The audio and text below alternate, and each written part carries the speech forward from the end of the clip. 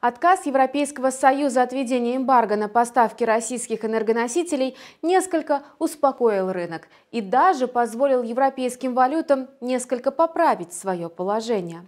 Но если единая европейская валюта сейчас в принципе стоит на месте, то вот фунт вновь демонстрирует явную тенденцию к снижению. Давайте разбираться детальнее в положении котировок.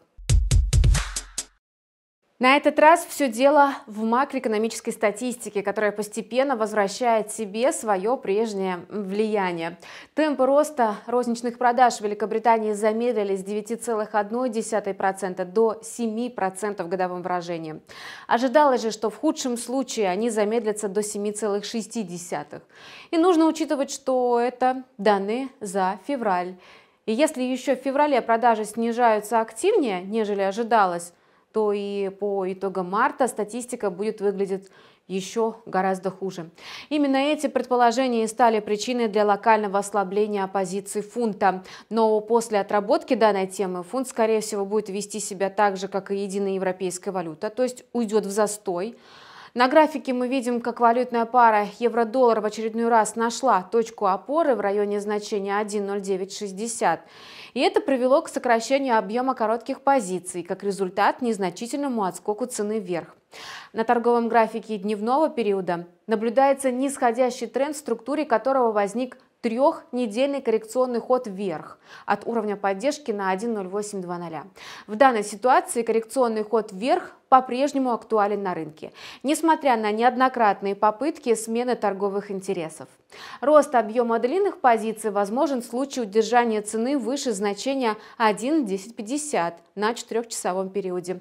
В этом случае у покупателей появится шанс на продолжение движения вверх. Нисходящий сценарий будет рассмотрен трейдерами в случае удержания цены ниже значения 1.0960 на 4-часовом периоде.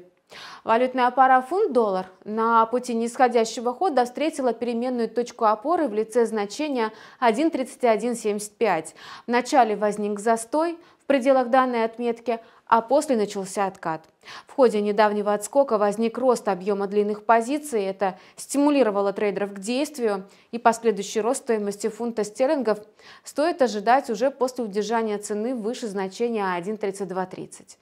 Этот шаг может привести к очередному касанию уровня сопротивления на 1.3320. В то же время нисходящий сценарий по пути основного тренда тоже рассматривается участниками рынка. Для возникновения сигнала на продажу фунта котировки необходимо удержаться ниже значения 1.3150 на 4-часовом периоде.